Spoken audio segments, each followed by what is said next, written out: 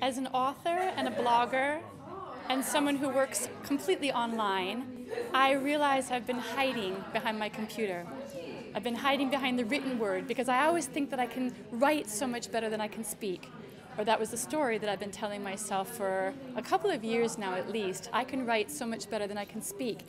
And the more I told myself that story, the more I believed it.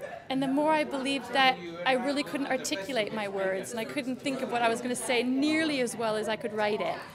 Speaker Express has shown me that you don't have to memorize what you're going to say. You don't have to script it. You don't have to write it perfectly. And, and you can just ad hoc it the way that I'm doing right now and just speak from your heart. And that has opened up a whole new world for me. A world that is not about trying to memorize and get words exactly right, but just being able to just be me. Thank you, Speaker Express.